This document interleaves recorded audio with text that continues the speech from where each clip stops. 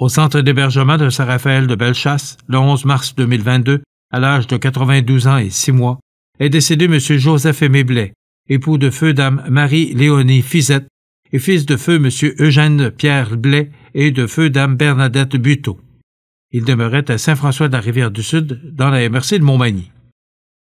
La famille accueillera parents et amis à l'église de Saint-François de la Rivière-du-Sud, 534 chemin Saint-François-Ouest, samedi 28 mai, jour des funérailles, à compter de 9 heures.